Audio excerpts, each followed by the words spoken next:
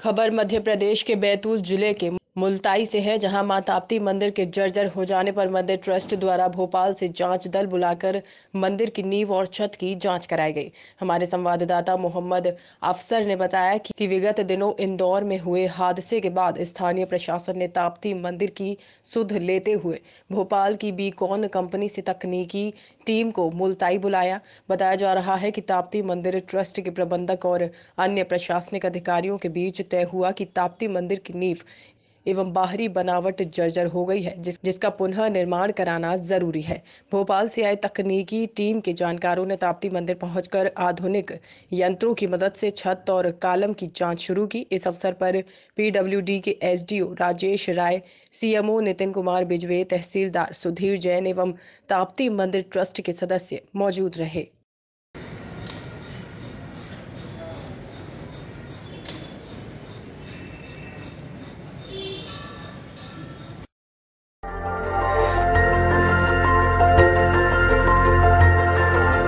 देखते रहिए डीवी भारती समाचार नज़र हर खबर पर।